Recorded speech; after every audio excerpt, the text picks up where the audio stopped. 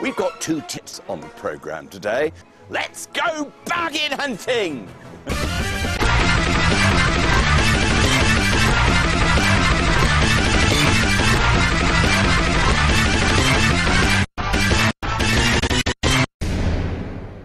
Today, our teams will each receive Fun play. you know. Once they've spent up, they take me in the behind. Yeah, I love it. you are my Subtle. friend. Yeah.